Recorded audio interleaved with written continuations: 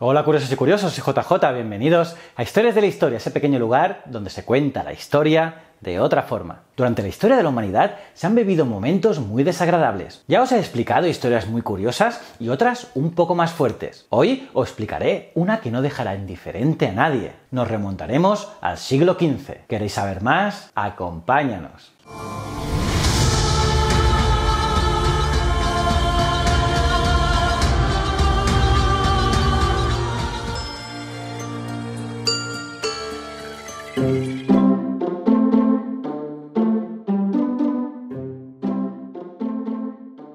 En 1459, el Papa Pío II reunió a los representantes de la cristiandad en el concilio de Mantua para convocar una nueva cruzada contra los turcos que, desde la toma de Constantinopla, avanzaban por el este de Europa. El llamamiento fue recibido con indiferencia por los líderes europeos, que, como no, estaban más preocupados por las disputas entre ellos. Eso sí, con la excepción de Matías Corvino, rey de Hungría, y Vlad III, príncipe de Valaquia, también conocido como Vlad Tepes, Vlad el Empalador o Drácula. Aquí os dejo un vídeo brutal que hablo sobre él, sobre Drácula. Años más tarde se volvería a repetir la historia.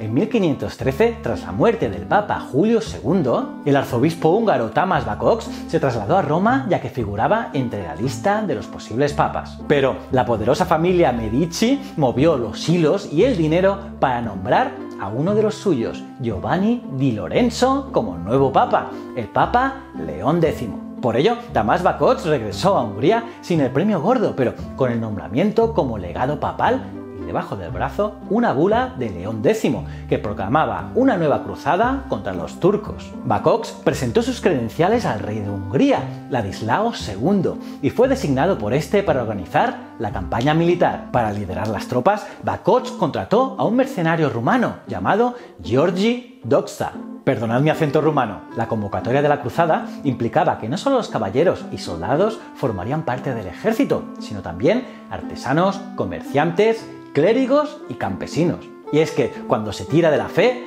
nadie se podía negar. En pocas semanas, Dodja había conseguido reunir un contingente de 100.000 almas, aunque en su mayoría campesinos sin ninguna preparación militar. El entrenamiento duró más de lo previsto y la época de la cosecha se echó encima. Y claro, los terratenientes, preocupados por sus propios intereses, ordenaron que los campesinos regresasen a sus labores agrícolas. Pero ante la negativa de Dodja, que no quería que volviesen para trabajar las tierras, los terratenientes decidieron presionarlos torturando a sus familias. Y claro, Caso error. Los campesinos, encabezados por Giorgi Dodza, se olvidaron de los turcos y decidieron recorrer los territorios de los miserables terratenientes para imponer su propia justicia, la de sus espadas. Por lo tanto, la cruzada contra los turcos se convirtió en una revolución de los campesinos húngaros contra los nobles. Después de quemar varios castillos y tomar algunas ciudades, Ladislao II y Tamas Bakots desembocaron la cruzada y contrataron un ejército de mercenarios de la República de Venecia y el Sacro Imperio. A solo 25 kilómetros de la capital, los campesinos de Giorgi Dodza nada pudieron hacer frente a la caballería pesada de nobles y mercenarios. Los que no cayeron masacrados fueron hechos prisioneros. Entre estos últimos estaban Giorgi Dodza, su hermano Gergely y varios de sus lugartenientes, que servirían para dar un escarmiento. Giorgi fue sentado desnudo en un trono ardiendo, como veis en este dibujo, y además se le colocó una corona de hierro al rojo vivo, burlándose de su pretensión de ser rey. Vamos, como Juego de Tronos. Pero, ¿cuál fue su respuesta? Georgie dijo, si un solo gemido escapa de mis labios, que mi nombre sea cubierto de infamia eterna. Pero eso no es todo. Mirad los sádicos que eran. Después de tener varios días sin comer a su hermano, al hermano de Georgie y a sus lugartenientes, los sacaron de la cárcel y les obligaron a comer la carne que arrancaban a Georgie, la carne que arrancaban de su cuerpo aún vivo. Sí, sí, como oís.